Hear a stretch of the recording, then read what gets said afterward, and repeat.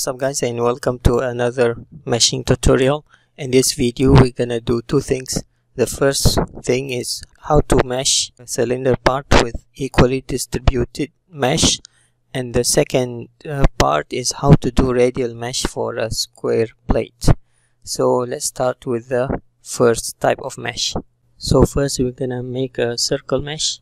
But we make the geometry first. We go to curve circle and create a circle by parameters my radius is gonna be 10 apply and then make a surface fill plane and click on the circle that, that we made just now. Apply then click on mesh go to auto mesher and click on deviation. Select the mesh uh, select the surface that we did just now.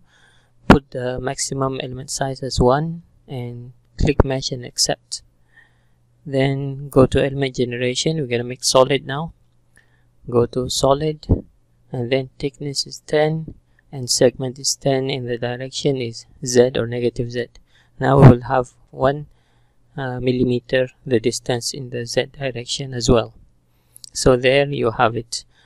And then you display this guy. Then you go to we're gonna convert convert this to SPH like we did last time. You go to here SPH generation.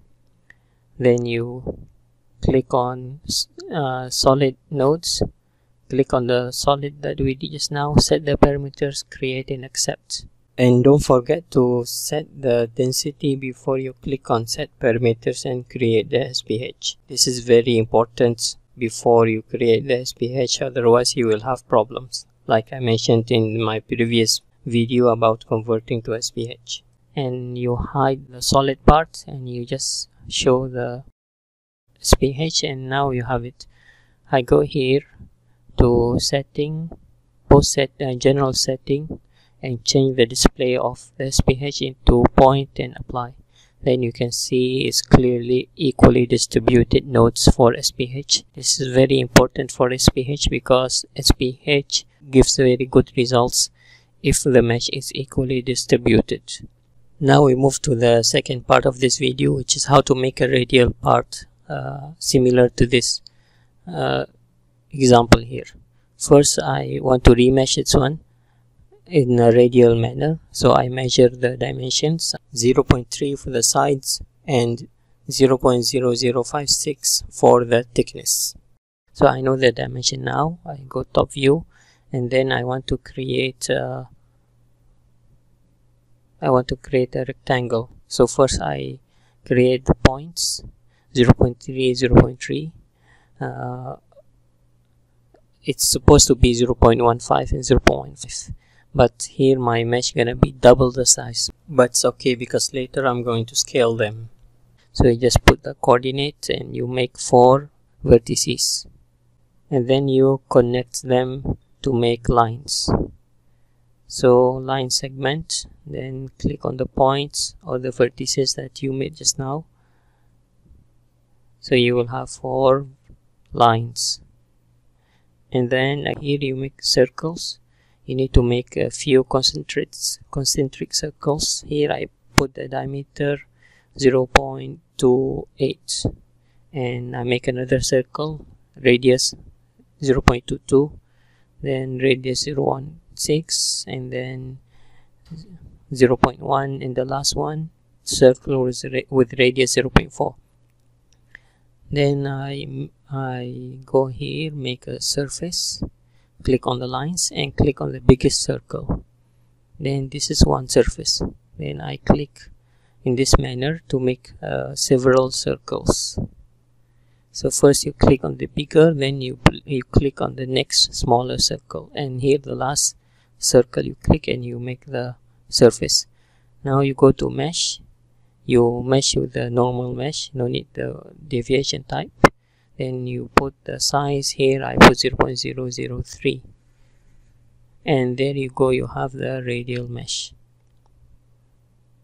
If you look closely you can see that the radial mesh is not really perfect that is because I made more than one circle and I use the same element size to mesh them all. So to avoid this problem you can either make only one circle or you can make uh, multiple circles but you mesh each one of them individually with a different mesh size. So the smaller circles should have a smaller size of mesh. Now again I'm going to make a solid out of this so I go to element generation solid. I put the segment 4 and the thickness is the value that I measured before. The it will be in the negative z direction. I click on create. And then you can see it here from the right view. You have six elements in the thickness direction. Then you accept. Display the mesh and then put the isometric view. And if you display all the parts you can see the new part is bigger in the x and y direction. But it's okay because I'm going to scale them now which is from here. Element tools and transform and then scale. Then the scale factor is 2 I click on the solid part that I did just now. Then I need to translate up because it's uh, I was I was supposed to extrude it to up but I extrude it to the negative z direction. So I'm going to uh, I'm going to fix that and, I, and I'm going to move it up. And there you go. Now you have the old mesh and the new mesh. And both of them in the radial direction. So I, I delete my part. I delete the old mesh. And then I go to move copy I click on part number one and then I click on the new mesh and then accept now the new mesh gonna be red gonna be part one. So meaning the the section properties and the material properties are applied already to this new mesh. Now after doing this trick I need to go to keyword manager and delete part the new part that I did this is part number four and part number three. This is the remnant the remnants of the mesh that I deleted before. Okay now you need to do that. Otherwise if you didn't do it you will have an error like uh, the one I'm displaying here in the screen. And that's all for this short tutorial. Thank you very much for watching. Hope to see you next time and until then bye bye